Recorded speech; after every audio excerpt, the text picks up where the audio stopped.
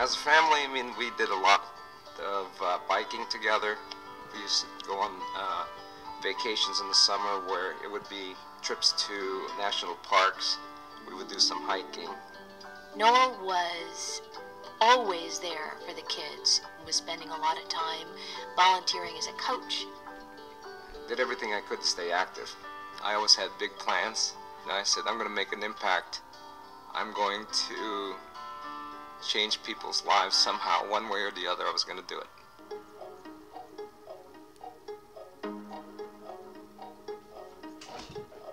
Dystonia is a rare movement disorder.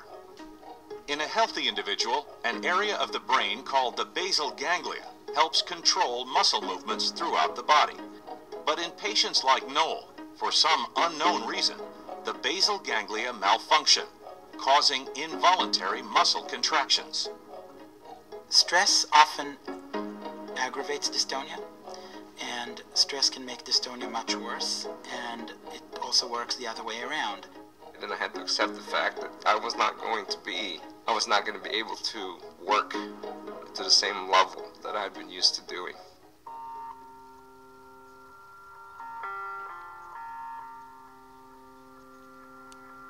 When I got dystonia, the first thing that came to my mind was all my dreams, all my ambitions were gone.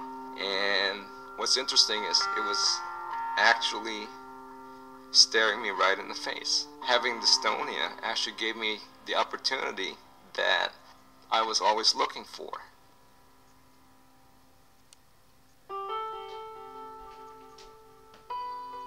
I formed the American Dystonia Society. And it's making a difference in my life. And I hope that it's making a difference in, in uh, other people's lives. I am so proud of him for for taking an active role and for helping other families so so that they don't have to go through as much as, as we did as as a family.